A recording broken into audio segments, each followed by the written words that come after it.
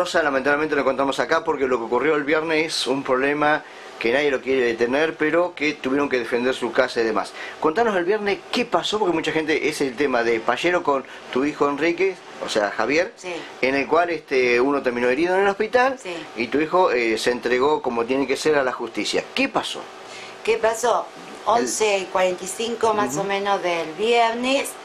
Este, sentimos eh, gritos, el patio, eh, mi hijo vive a la vuelta de mi casa, conecta patio con patio y sentimos grito, mi hija me dice, están rompiendo la casa de, los chicos, están rompiendo la casa de los chicos.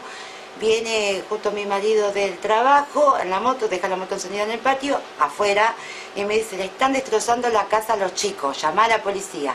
Llamo 911, no me da, que todos los 911 estaban ocupados, vuelvo a intentar, llamo a la policía, para esto ya una de las chicas que estaba con su bebé, que estaban eh, por cenar en la casa de mi hijo, llama al 911, también no le dan hasta que yo me conecto con el 911.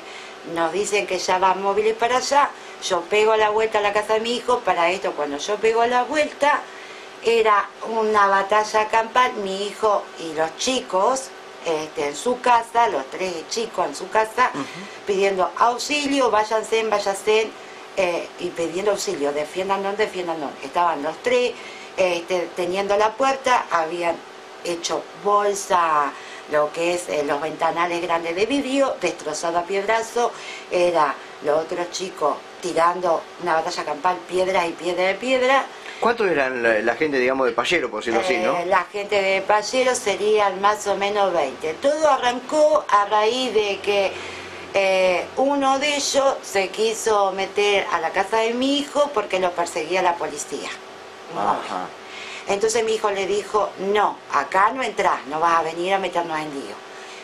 Otro, después, bueno, agarra otro, viene le pide un cigarro, el menor de Payero, el menor Payero, Federico Payero, le va a la casa de mi hijo, le pide un cigarro, mi hijo se lo da de la puerta y se va. El otro payero, este, eh, que tiene arresto domiciliario y anda por el barrio como si tal cosa, cosa que no debería ser así, ni tiene por qué hacer así, porque si no, no hubiese pasado todo esto que pasó. El señor payero, entre comillas, porque de señor no tiene nada, este va y le dice que se siente en el fardo de ellos, en el idioma de ellos, desarpado, qué sé yo qué, qué sé yo cuánto. Entonces mi hijo con los chicos le dice, andate, andate, porque no queremos lío, nosotros estamos ya por acotarnos, no, que, que, que te pensaba que esto, que el otro, se va. Cuando los chicos se disponen, mi hijo estaba por cenar, que había recién haría 15, 20 minutos que venía del trabajo, este, estaban por ponerse a cenar, entre amigos, eh, serían cinco amigos más o menos con la chica, este, había una chica con una bebé eh, de dos añitos, dos añitos y pico, todo bien. Este, empiezan, escuchan ruido de piedra y que le rompen los ventanales. Cuando asoman la cabeza los chicos eran como 20 que venían de la esquina, todos con piedra y empezaron. Le destruyeron todos los vidrios, ellos tienen unos ventanales muy grandes, porque en su momento había sido un almacencito, y tiene dos ventanales de vidrio grandes, con reja. Le destruyeron la casa. La puerta se la patearon, entraron, eh, le robaron la consola al equipo de música de mi hijo, le robaron otro equipito de música del otro amigo de mi hijo que vive también, son tres chicos que viven juntos. Bueno, eso después se rescató. Este, ah, en el lío. De... ¿Y, en ese momento, en qué momento se produjo la herida de bala? Eso, lo que Eso fue el viernes, vamos por ah. parte. Eso fue todo lo que... Ese fue el origen. El origen. El sábado. El arranque, el viernes. El sábado a la mañana, cuando nosotros vamos, hacemos la denuncia como corresponde. Yo estuve hasta las cinco y media de la mañana en la comisaría de Quequén. Mi hijo se quedó con el dueño de la casa, más él que también la habita, en la comisaría que no le tomaron la ampliación de denuncia. No se la tomaron, se quedó ahí hasta las 6 de la mañana y se la, no le terminaron tomando la ampliación de denuncia. Viene mi hijo, este, como estaba toda la casa abierta, ya para esto era sábado. Sí. Serían las seis y media de la mañana del sábado.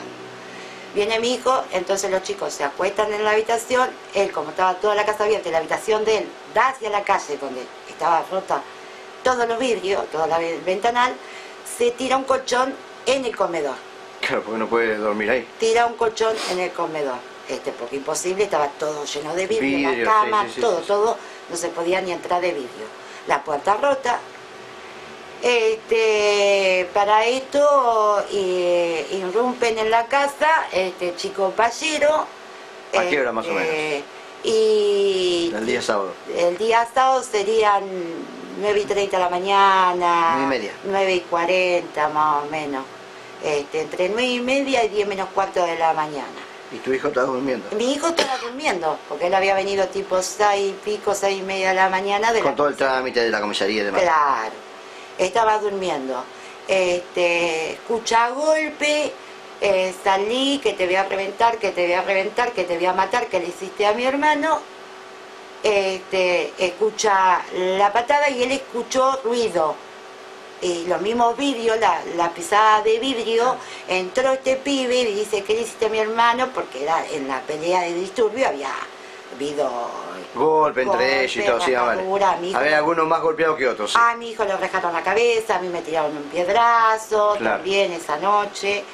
Este, le apuntó a la cabeza, entra con una pistola, le apunta a la cabeza, mi hijo entre dormido, este, reacciona, le tira con no sé qué, para defenderse, porque entró con un arma este payero, el chico que está internado, apuntándole directamente a la cabeza, te voy a matar, te voy a matar. Entonces mi hijo, entre dormido, reacciona como puede. Reacciona como puede, gira del colchón, eh, manotea no sé qué, tira, le tira y entonces alcanza a esconderse atrás de la ventana. La ventana está dentro de la casa.